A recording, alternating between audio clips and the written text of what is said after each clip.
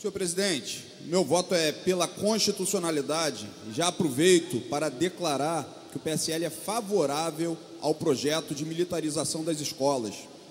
E afirmo isso, é, todos sabem do meu posicionamento no momento de oposição ao governo do Estado.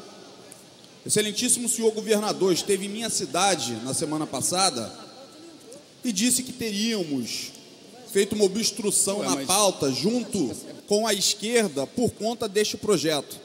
Então, na verdade, a gente fez uma obstrução por conta do projeto da concessão, que a gente acha um absurdo da forma como se quer, e a gente é favorável ao projeto de militarização das escolas, senhor presidente. O meu voto é favorável pela constitucionalidade.